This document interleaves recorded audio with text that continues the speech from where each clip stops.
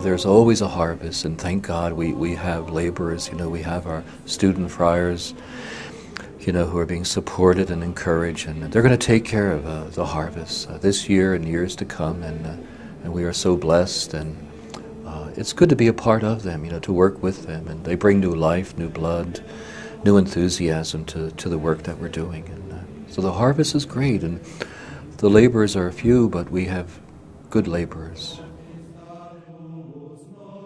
I was studying civil engineering at Colorado State University, and uh, I just got to a point in my life around the, the time of 9 11, um, asking questions, uh, really important questions about what my life is about, um, what I was created for, what the, the meaning of life was.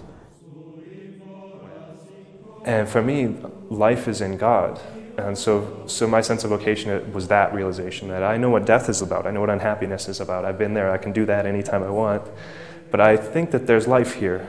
Um, and so for me, it was about that. It wasn't about so much like a job or a ministry or a whatever. It was about there's life here for me. That I was kind of away from the faith, and I, um, I, I, read these books on, on the, our Blessed Mother and decided, you know, to visit uh, Medjugorje, and so I went there with my mom right after September 11th.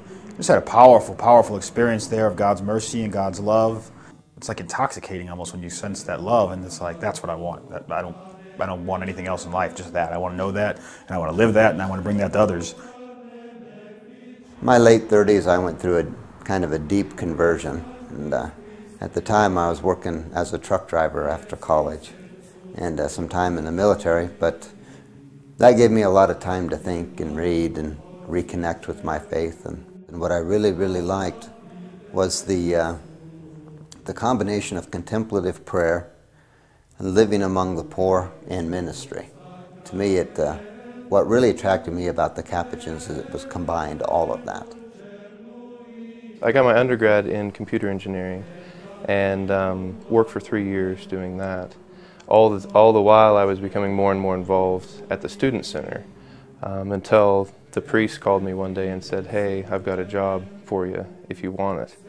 And so it was kind of a, a wake up call to me to consider vo my vocation again. Um, so I went to work for him for two years and did work with college students and then faculty and staff at the university with retreats, classes, that kind of stuff. And then that was my, my last stop before I put on the Browns. It's the most important thing I feel like the Capuchins are, in a sense, is beyond what they do, um, beyond what we do. And that's been hard for me because I feel I'm a doer and my family, we're, we're doers. And so being something is kind of new to me. And so being a person of prayer, being a person of faith, um, letting my life witness rather than letting my deeds alone witness is something that I feel like the Capuchins have taught me.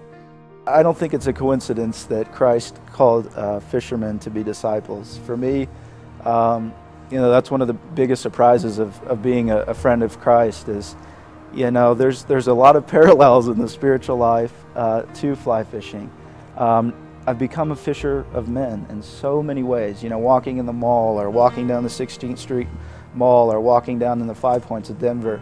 Uh, people see us in our in our robes and they come up and talk to us and. Um, so there, you know, there's a dynamic process involved in, in evangelization.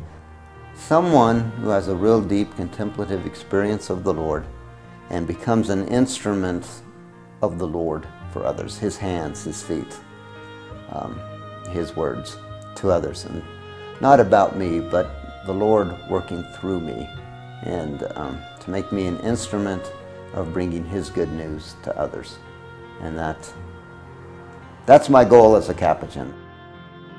For the last three years, doing catechesis and uh, teaching confirmation classes to high school kids at Annunciation uh, Parish here in Denver. And it's been, for me, incredible. Um, one of the things like appearing in Medjugorje was help the youth, help the youth, protect the youth. For the youth growing up today, I think it's so difficult because there's so many dangers, spiritually, materially. I mean, that, that, many people in the past growing up didn't face. And, you know, but I think they're all hungry for truth, just like everybody is. And And the more you talk about God's love to them and God's mercy and you know, that God is calling them to holiness and God's calling them to a relationship. And you still slowly start to see something come awake inside of them. And it's powerful to see that happen. And you know it's not it's nothing you're doing. You know that you know God's grace is working and that's exciting to see. I think religious formation is tremendous human formation as well. It's a tremendous experience of growing into just being a person. Um, because my own kind of background, my own growing up, and my own culture has shaped me to be pretty selfish and to be um, yeah, self-seeking and, and all sorts of things. And so those, those things get worked out in, in community and in prayer and all of these things. And so I think I've grown just as a human being, uh, just an inability to be kind and compassionate um, and find joy in, in the freedom of poverty, for instance, in the freedom of service, in the incredible way that God is present in so many people. So for me, I think I've grown in my appreciation of the, the holiness of everyday life. Uh, what would I most like to be remembered for? Uh, being a man of prayer and being loving towards others I responded uh, to the call of Christ so that others could come to know that same love that I found in Jesus Christ. My willingness to help um, anybody that asks simple or complex question, I think, I think my generosity is something I hope um, can be inspiring. And I've always tried to be honest with other people and, and honest with them about my own struggles and I think I'd like to be remembered for maybe two things. Uh, one, I'd like to be remembered as a real man, like a very real man in an unreal world sometimes, um, a real authentic person. Um, and I think I would also like to be remembered as somebody who was able to show others how much they're loved by God. Because that's what it's about for us. You know, it's not about how good we are, it's about how good God is. And God is amazingly present in a lot of people and they don't know it. Well, today I had Mass with the the student friars, the, the professed friars who are in various years of their training. And, and as I looked at them celebrating, as I was celebrating the Mass and looked at them, I said, this is the future, you know, to spread the good news and, and to, you know, to take care of the harvest out there.